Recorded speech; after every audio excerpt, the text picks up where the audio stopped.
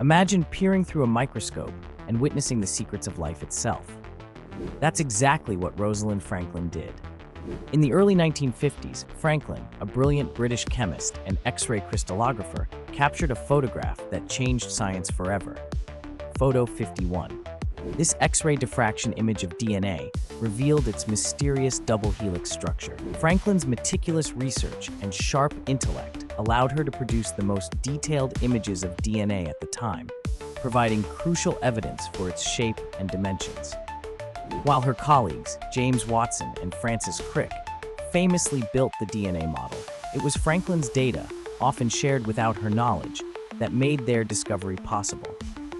Although she didn't receive the Nobel Prize recognition she deserved during her lifetime, Rosalind Franklin's legacy lives on. Her groundbreaking work not only unlocked the structure of DNA, the blueprint of life, but also paved the way for advances in genetics, medicine, and forensic science. Today, Franklin stands as a symbol of perseverance, scientific curiosity, and the vital contributions women make to science and humanity's understanding of life itself.